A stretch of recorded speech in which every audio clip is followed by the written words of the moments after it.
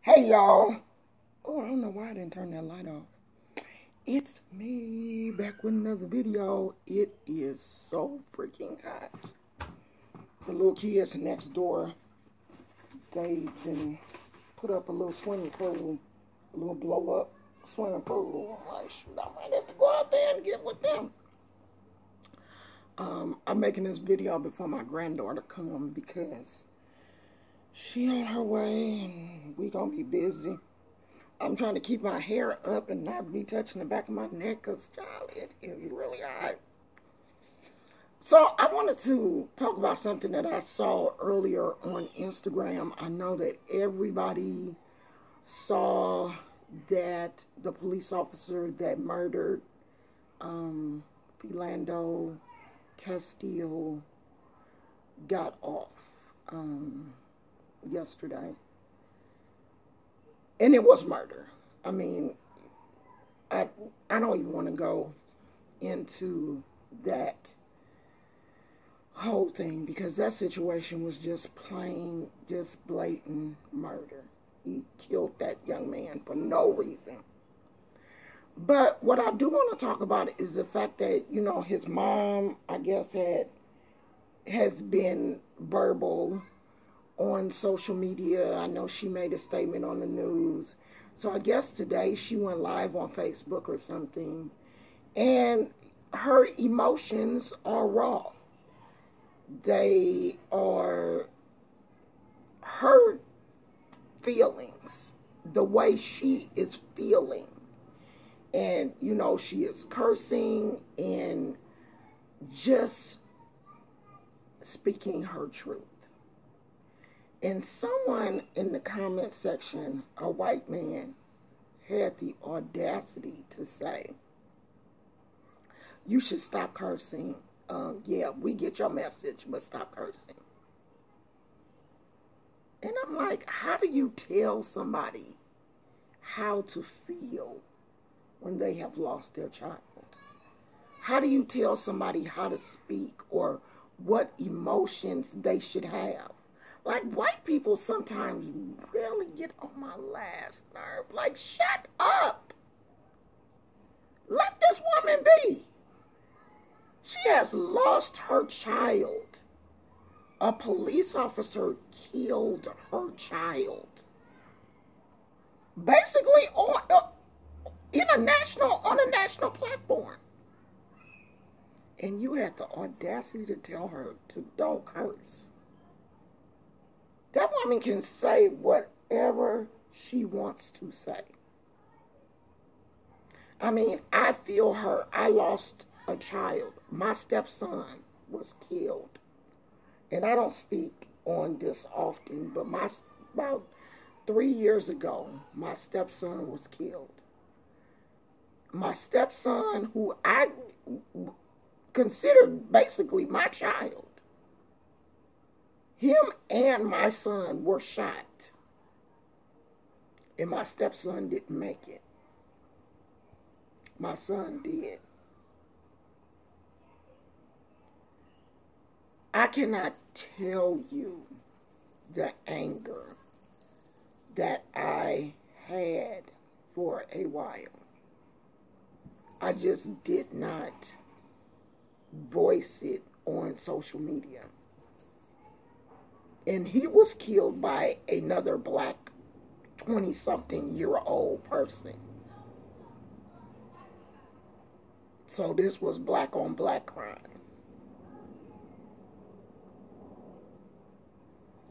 This woman is allowed to say whatever she wants to say. If she hates the police, I don't blame her. Because I had a lot of hatred for a while that I had to deal with. But I dealt with it the way I saw fit, and she is dealing with it the way she sees fit. Let that woman be. If she hate the police, oh well, she has a reason to.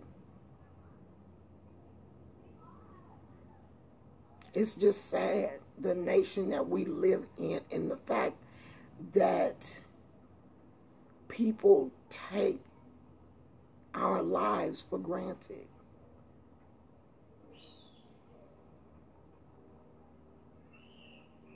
It's sad. And it hurts, you know. When I see things like this happen, I try not to speak on them because I like to keep my channel light. And I like to keep that kind of stuff away from me because I know how easy it is for me to sink into a place where I don't like to be because I've been there as a parent.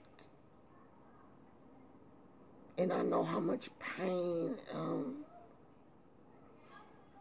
surrounds that type of loss because I've had it.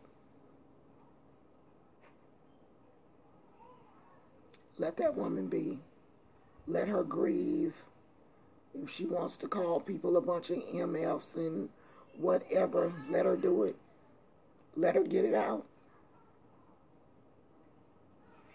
Because I held on to stuff, I think, for too long. I held it, didn't know how to express how I was feeling. I mean, I'm in a much better place now, me and my son, you know, I thank God he's at a place now where he can talk about the death of his brother. It's extremely difficult. And that put a rift in our family. Death will send people to a dark place, an angry place, if you let it. You gotta let that out. She's gotta let that out. She's she hurt. She's angry. She's frustrated. Like we all are. We all are frustrated. Black people are frustrated. We are tired of this.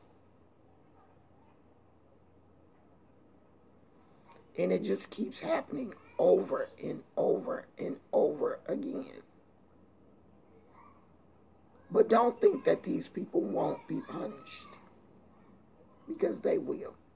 We just won't see it. And that's the thing. We have to get out of wanting to see the person punished and just know in the end they will be. There will be justice. We just don't always see it. And I think that is what made me, you know, feel better. The young man that killed my son, something is going to happen to him. Him, a family member.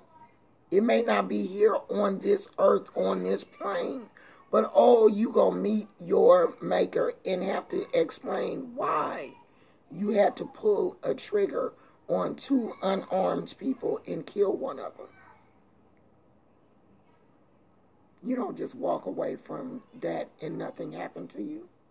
And I'm at a point now where I don't have to see justice because I know that it will be. It has to be.